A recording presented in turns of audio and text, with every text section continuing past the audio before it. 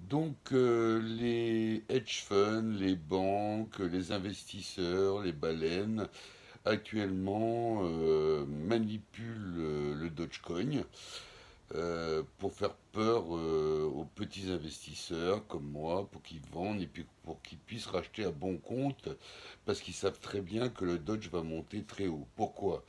Ben, Vous avez vu que la fondation Dogecoin a été rétablie avec des membres éminents de la communauté de Dogecoin, euh, le patron d'Ethereum, euh, l'associé de Elon Musk dans euh, Tesla qui, appartient à Morgan Stanley, les développeurs, Marcus qui vient de qui est toujours dans la fondation, avec maintenant un but précis, euh, d'accélérer le paiement du Dogecoin, de diminuer le coût, qui est déjà le moins cher euh, du monde par rapport à toutes les crypto-monnaies, et aussi qu'il aille de plus en plus vite pour payer votre café, pour payer votre popcorn, euh, pour payer vos services, euh, votre nourriture.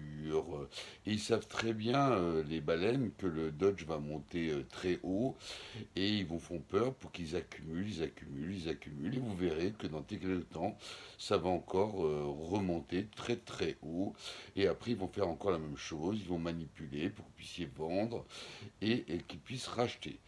Donc ne vendez pas, gardez vos Dogecoin pour payer vos, services, vos nourritures, avec la carte que je vous ai envoyée sur euh, ma dernière vidéo.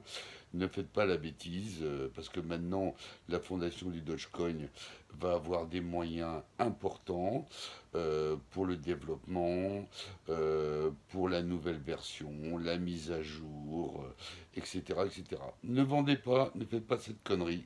Gardez vos Dogecoin et souscrivez à ma page Medi Dogecoin sur YouTube et Twitter. Bye